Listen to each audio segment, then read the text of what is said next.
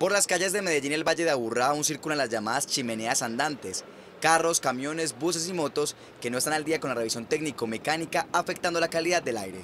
Por esta razón se mantienen los operativos por parte del área metropolitana para reportarlos ante las secretarías de movilidad. Hacemos el operativo en vía, identificamos el grado de opacidad del vehículo, si está cumpliendo o no con las normas establecidas para ello y cuando se detecta de que el vehículo por alguna razón no está cumpliendo con esta, con esta norma de gases, pues eh, la autoridad de tránsito le impone el, el comparendo. Según datos de la Secretaría de Movilidad de Medellín, entre marzo y abril de 2017, cuando se declaró la contingencia ambiental en la ciudad, se recibieron 1.400 reportes de posibles vehículos chimenea.